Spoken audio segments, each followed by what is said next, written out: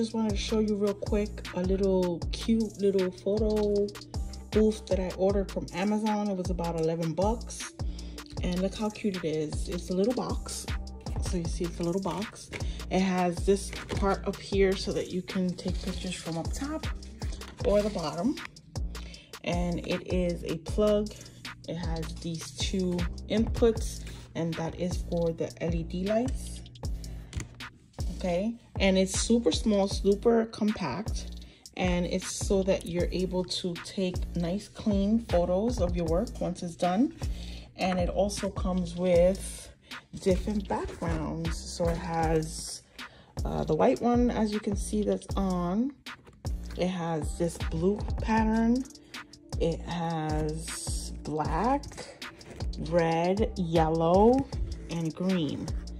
And all you do is you hook it up. See these little notches? It hooks up to that and if you want to change the background you simply push the notch lift and you're able to take out the little slab. Sorry. And insert the new one.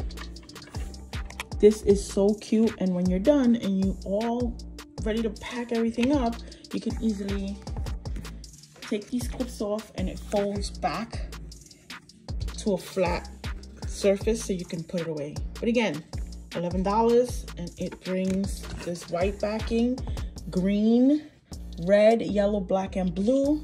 You can take pictures from the front like this.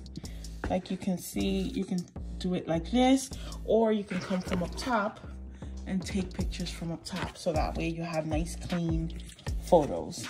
So I just wanted to share that with you guys. Um, I did it because, see, I'm, I just finished these nails um, and I was taking some beautiful pictures.